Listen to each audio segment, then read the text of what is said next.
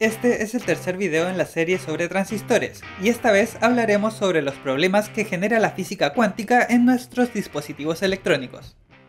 En los capítulos anteriores vimos cómo funcionan los transistores más comunes, y cómo es que estos logran realizar dos funciones fundamentales.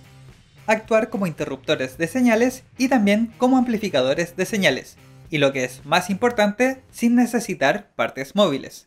Al tomar todas estas características y mezclarlas en circuitos complejos, es que se logran construir los procesadores que utilizamos cada día.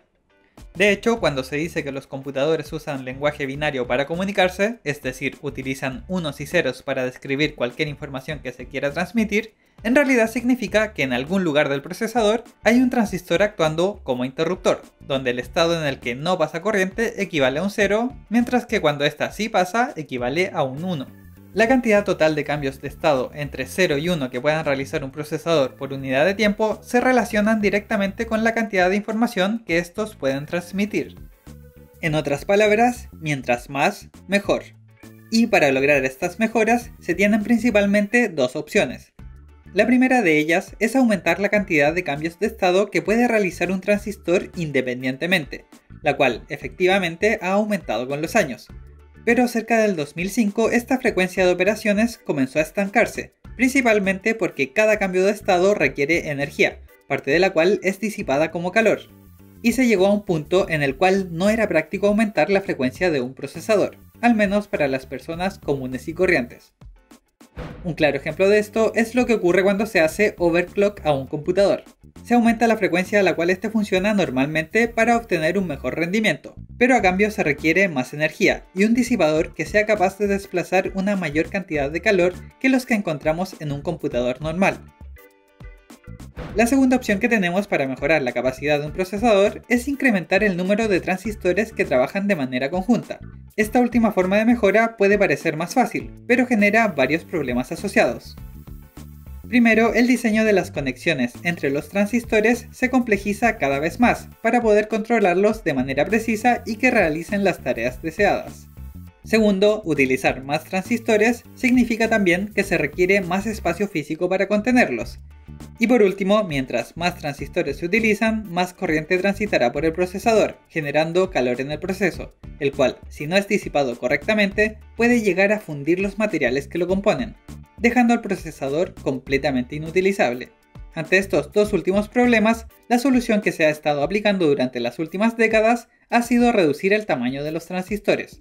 De hecho, las empresas relacionadas al desarrollo de procesadores se enfocaron tanto en esta optimización que el cofundador de Intel, Gordon Moore, planteó en 1965 que el número de transistores por unidad de superficie en circuitos integrados se estaba duplicando cada año. Esta tendencia se comprobó por varios años, por lo que se llegó a conocer como la ley de Moore, aunque poco a poco se fue reduciendo la velocidad con que la cantidad de transistores por unidad de superficie se estaba duplicando. Esto debido principalmente a que cada vez se requerían procesos de manufactura más sofisticados, pero al día de hoy ya existen tecnologías con la capacidad de posicionar átomos de manera precisa. Me escucharon bien, átomos individuales. De hecho, el 2013 la empresa IBM lanzó el cortometraje Un niño y su átomo, donde cada punto es efectivamente un átomo de hierro. Aunque tener la capacidad de hacerlo en un laboratorio no significa necesariamente que sea viable para la producción en masa. Pero no nos alejemos del tema, pensemos en un transistor MOSFET como el que vimos en el capítulo anterior. La forma en que funcionaban era mediante un canal de semiconductor dopado positiva o negativamente, el cual en cada extremo cambiaba el tipo de doping, con lo cual era imposible que la corriente lo atravesara, pues en la unión de estos dos tipos de semiconductores se generaba una zona de deplexión o empobrecimiento, donde no quedaban electrones libres que permitieran el flujo de corriente. Uno de los extremos era conocido como fuente y el otro como drenaje. A esta combinación se le sumaba además un dieléctrico y un electrodo o puerta, el cual al aplicarle un voltaje obligaba a los electrones del canal a desplazarse hacia una orilla, reduciendo la zona de deplexión y por lo tanto permitiendo el paso de la corriente.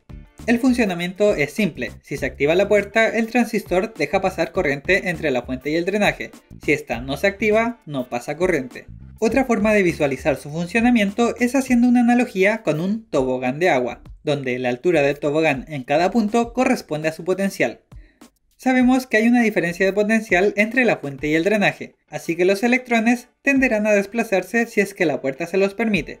Pero al desactivar la puerta, la forma del tobogán cambia, agregando un montículo o barrera de potencial, impidiendo que los electrones sigan desplazándose libremente. Hasta aquí todo sigue funcionando tal como lo vimos en los capítulos anteriores. Pero al seguir con la ley de Moore, disminuyendo cada vez más el tamaño de los transistores, la distancia del canal entre la fuente y el drenaje ha llegado a ser de solo unos nanómetros. Es decir, una distancia tan pequeña que es equivalente a unas cuantas decenas de átomos alineados. Y cuando llegamos a estas distancias tan pequeñas, cosas extrañas comienzan a ocurrir. Nos comenzamos a adentrar en el mundo de los fenómenos cuánticos. Pero antes de seguir, les quería hablar sobre PCBWay, quienes ofrecen un servicio de manufactura de PCBs, haciendo envíos a todo el mundo y asegurando su calidad mediante el reembolso de su dinero si es que ésta no cumple con lo acordado. Además, durante estos días tienen una promoción para el montaje de componentes en placas y bajaron sus precios a solo 30 dólares por un máximo de 20 placas. Así que si tienen un proyecto en mente, no duden en visitar su página web. Hasta este momento habíamos representado los electrones que generan la corriente eléctrica como partículas, los cuales sabíamos exactamente en qué lugar se encontraban, pero esto fue solo una simplificación. Incluso el conocido modelo atómico con protones y neutrones en el núcleo y electrones girando en orbitales perfectamente definidos tampoco es del todo acertado. Los últimos estudios hechos, y por últimos me refiero a estudios hechos hace casi 100 años atrás, proponen que la posición de los electrones respecto del átomo están definidas de una manera probabilística. Es decir, dependiendo del tipo de átomo y su energía entre otras cosas, había zonas en las cuales era más probable encontrar un electrón, y otras en las cuales era menos probable, pero no imposible. Entendiendo esto, si volvemos a nuestro transistor MOSFET extremadamente pequeño, aun cuando la puerta no esté activada, nos encontraremos con que de vez en cuando la corriente es capaz de cruzar entre la fuente y el drenaje.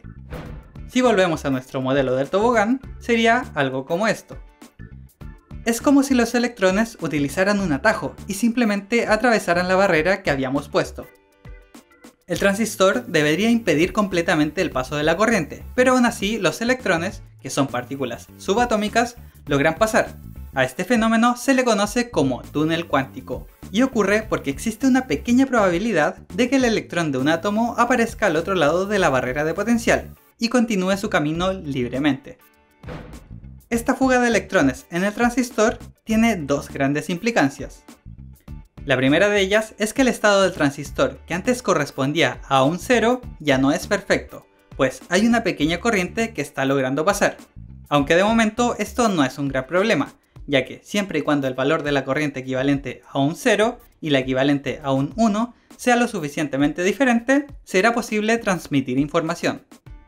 La segunda implicancia, y quizás la más problemática, es que si está pasando corriente en todo momento por los circuitos, entonces nuevamente nos encontraremos con que se generará calor adicional en el procesador. Pero esto no acaba aquí. Mientras más pequeña sea la distancia, más probable será que ocurra el fenómeno del túnel cuántico. Será más difícil discernir entre el valor de 0 y 1 y más calor se generará en el procesador. Básicamente nos encontraremos en un punto en el que no es viable seguir disminuyendo el tamaño del transistor. Y de hecho, ese punto ya llegó hace varios años, al menos para el MOSFET.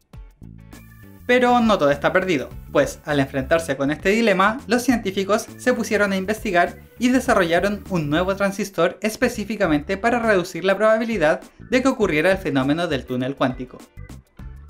Este transistor es conocido como FinFET. Pasaron varios años de investigación desde que se propuso este nuevo tipo de transistor hasta que por fin lograron reducir sus costos de manufactura, y el 2011 Intel los introdujo en su línea de procesadores.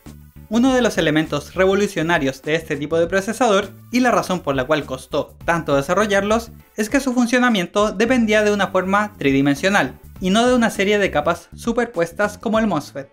El nombre FinFET proviene de su forma como aleta y la abreviación de transistor de efecto de campo. De hecho, su funcionamiento es bastante similar al de los transistores MOSFET. Para entender cómo funciona, vamos agregando los componentes uno por uno. El primero de ellos es un bloque con tres capas de material. El sustrato de silicio, es decir, el material base sobre el cual se construirá todo, una capa de óxido que actúa como separador y otra capa de silicio dopada que terminará siendo el canal por el cual pasarán los electrones. A esta última capa le quitamos un poco de material y nos quedaremos con una aleta de silicio. En este punto, si conectamos dos electrodos a cada extremo, la corriente podría pasar sin problemas.